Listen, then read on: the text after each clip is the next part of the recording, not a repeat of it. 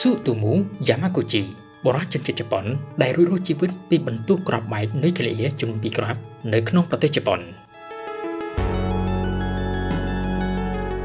រឿងរ៉ាវរបស់ស៊ូទូមូយ៉ាម៉ាកូជីនេះពិតជាល្បីល្បាញខ្លាំងណាស់និងត្រូវបានគេចាត់ទុកថាគឺជារឿងរ៉ាវអភិនិហាមិនគួរជឿបំផុតនៅក្នុងពិភពលោក គាត់គឺជាមនុស្សតែម្នាក់គត់ដែលរងគ្រោះដោយសារតែបន្ទុះក្របបែកអាតូមិកកាលពីសម័យសង្គ្រាមលោកលើកទី2ចំនួនដល់ទៅ2ដងក៏ប៉ុន្តែមិនស្លាប់នោះទេគាត់រួចរស់ជីវិតពីការទម្លាក់ក្របបែកទាំងពីរលើកពីសំណាក់សារអាមេរិកទៅក្នុងទីក្រុងរបស់ប្រទេសជប៉ុនទី1គឺទីក្រុងហេរ៉ូស៊ីម៉ានិងទី2គឺទីក្រុងណាកាសាគីតើរឿងរ៉ាវមិនគួរជឿនេះវាបានកើតឡើងយ៉ាងម៉េចទៅសូមអញ្ជើញលោកអ្នកទស្សនាជាបន្តទាំងអស់គ្នា នៅក្នុងកំឡុងសង្គ្រាមលោកលើកទី2មានព្រឹត្តិការណ៍ដ៏រន្ធត់និងខ្មៅងងឹតជាច្រើនបានកើតឡើងប៉ុន្តែនៅក្នុងហេតុការណ៍ទាំងអស់នោះមានមួយត្រូវបានគេទុកថាជាហេតុការណ៍ដ៏ខ្មៅងងឹតបំផុតនោះគឺការទម្លាក់គ្រាប់បែកអាតូមិកចំនួន2គ្រាប់ចូលទៅក្នុងប្រទេសជប៉ុនដែលបានធ្វើឲ្យទីក្រុងទាំងពីរនេះស្ទើរតែคล้ายទៅជាផេះនោះគឺទីក្រុងហីរ៉ូស៊ីម៉ានិងទីក្រុងណាកាសាគីមនុស្សរាប់ម៉ឺននាក់បានស្លាប់បាត់បង់ជីវិតនៅកំឡុងពេលនៃការទម្លាក់គ្រាប់បែកនេះ ប៉ុន្តែនៅក្នុងចំណោមមនុស្សទាំងអស់នោះមានបរិមម្នាក់បានបង្កើតនៅរឿងរ៉ាវដែលគួរចាប់អារម្មណ៍បំផុតគេម្នាក់នោះមានឈ្មោះថាស៊ូតូមូយ៉ាម៉ាគូជីគឺជាបរិមម្នាក់ដែលរួចរស់ជីវិតពីការទម្លាក់គ្រាប់បែករហូតដល់ទៅ2គ្រាប់ពីសំណាក់សហរដ្ឋអាមេរិកកើតនៅក្នុងឆ្នាំ1916លោកយ៉ាម៉ាគូជីរស់នៅក្នុងទីក្រុងណាកាសាគីក៏ប៉ុន្តែនៅថ្ងៃទី6ខែសីហាឆ្នាំ1945គាត់កំពុងតែស្ថិតនៅក្នុងទីក្រុងហីរ៉ូស៊ីម៉ាកំពុងតែបំពេញកិច្ចការងារ ឲ្យក្រុមហ៊ុន Mitsubishi Heavy Industry នៅគណៈពេលដែលគាត់កំពុងតែដើរទៅកន្លែងការងារគាត់ស្រាប់តែឃើញជនហោះទម្លាក់គ្រាប់បែក B29 របស់អាមេរិកមួយគ្រឿងបានទម្លាក់របស់តូចមួយពីលើអាកាសរបស់តូចនោះគឺជាគ្រាប់បែកនុយក្លេអ៊ែរដែលមានឈ្មោះថា Little Boy វាបានផ្ទុះនៅពេលដែលវាធ្លាក់មកដល់ចម្ងាយប្រមាណជា600ម៉ែត្រពីលើទីក្រុងហីរ៉ូស៊ីម៉ា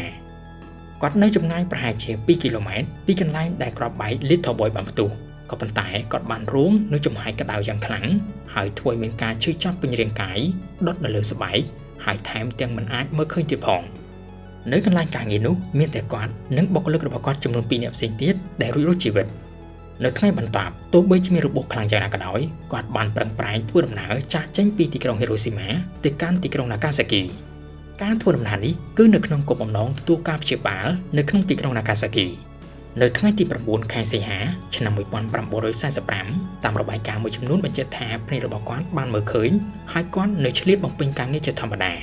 ក៏ប៉ុន្តែនៅក្នុងថ្ងៃនោះក្របបែកអាតូមិកទី2ត្រូវបានទម្លាក់ក្របបែកនេះមានឈ្មោះថា Fatman គឺត្រូវបានទម្លាក់នៅក្នុងទីក្រុងដែលគាត់កំពុងតែរស់នៅនោះទីក្រុង Nagasaki ក្របបែកអាតូមិកទី2 Fatman នេះត្រូវបានទម្លាក់និងផ្ទុះនៅលើទីក្រុង Nagasaki គឺនៅចំពេលដែលលោក Yamaguchi កំពុងតែបញ្យល់បកស្រាយអំពីហេតុការណ៍ផ្ទុះក្របបែកអាតូមិកនៅក្នុងទីក្រុង Hiroshima ទៅកាន់ចៅហ្វាយនេះរបស់គាត់ភ្លាមភ្លាមគាត់បានមើលឃើញនៅពន្លឺចាំងចាញ់មួយហាក់ដូចជាពន្លឺដែលគាត់ធ្លាប់បានឃើញនៅក្នុងទីក្រុង Hiroshima បន្ទាប់មកគាត់ទទួលអារម្មណ៍ឆាបឆេះពីខ្លួនរាងកាយត្រូវដុតកម្ដៅទៅដោយធាតុវិទ្យុសកម្មរបស់ក្របបែកនុយក្លេអ៊ែរ Fatman ទោះបីជារងគ្រោះដោយសារតែក្របបែកអាតូមិកចំនួនដល់ទៅ2គ្រាប់ ក៏ប៉ុន្តែលោក Yamaguchi នៅតែអាចរស់រានមានជីវិតក៏ប៉ុន្តែរស់រានមានជីវិតប្រកបដោយសេចក្តីទុក្ខវេទនាជាទីបំផុតផ្ទះរបស់គាត់ត្រូវបានបំផ្លាញទាំងស្រុងសមាជិកគ្រួសាររបស់គាត់ទាំងអស់ទទួលរងនឹងការវាយប្រហារពីក្របបែកនេះទោះបីជាមិនស្លាប់ក៏ប៉ុន្តែបិទតែនឹងស្លាប់គ្រប់គ្នានៅក្នុងទីក្រុងនាកាសាគីនៅពេលនោះរណុករណែលទៅដោយសារសពរបស់មនុស្សនិងមនុស្សដែលបាត់បង់ស្មារតីស្ទើរតែคล้ายទៅជាមនុស្សឈួតដែលមនុស្សមួយក្រុមនេះត្រូវបានគេឲ្យឈ្មោះថា Hibakusa គឺជាជនរងគ្រោះដោយសារតែក្របបែកអាតូមិកហើយពួកគេត្រូវទទួលនឹងការព្យាបាលជំងឺផ្លូវចិត្តយ៉ាងយូរអមជាមួយនឹងជំងឺផ្នែករាងកាយដោយសារតែធាតុវិទ្យុសកម្មរបស់ក្របបែកនុយក្លេអ៊ែរទៀតផងយ៉ាងណាក៏ដោយលោកយ៉ាម៉ាកូជីនៅតែមានស្មារតីល្អនិងណូហើយតស៊ូប្រឹងប្រែងក្រោកឡើងសាជាថ្មី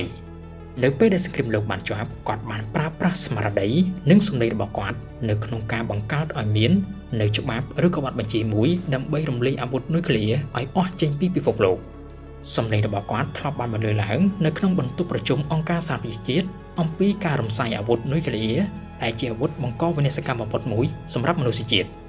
ជីវិតដែលនៅសេសសល់ចុងក្រោយរបស់បរោះដែលរងគ្រោះដោយអាក្រក់បែកទុំមិចចំនួន2គ្រាប់ប៉ុន្តែមិនស្លាប់នេះបានคล้ายទៅជាការរំលឹកដាស់តឿនអំពីវិនាសកម្មរបស់ក្របបែកនុយក្លេអ៊ែរនិងការស្វែងរកសន្តិភាពឲ្យមនុស្ស ទោះបីជារងគ្រោះដោយសារតែទេពយុទ្ធកម្មដ៏ខ្លាំងក្លារបស់ក្របបែកនុយក្លេអ៊ែរពីរគ្រាប់ ក៏ប៉ុន្តែលោកយ៉ាម៉ាគូជីបានរស់រានមានជីវិតរហូតដល់អាយុ93ឆ្នាំទើបគាត់ទទួលមរណភាពពលគឺមរណភាពនៅថ្ងៃទី4ខែមករាឆ្នាំ2010រឿងរ៉ាវជីវិតរបស់បរមអ្នកនេះត្រូវបានគេយកទៅសរសេរចុងក្រងនៅក្នុងអត្ថបទកាសែតសៀវភៅនិងខ្លះផលិតជាខ្សែភាពយន្តទៀតផងប្រសិនបើអ្នកចង់ដឹងបន្ថែមអំពីខ្សែជីវិតរបស់លោក Yamaguchi ថាតើគាត់គេចផុតពីការស្លាប់ចំនួន2ដងក្រោមការទម្លាក់គ្រាប់បែកអាតូមិកនៅរបៀបណានោះ លោកអ្នកគួរតែទស្សនាភាពយន្តដែលមានចំណងជើងថា Twice Bombed The Legacy of Yamaguchi Tsutomu នៅក្នុងឆ្នាំ2011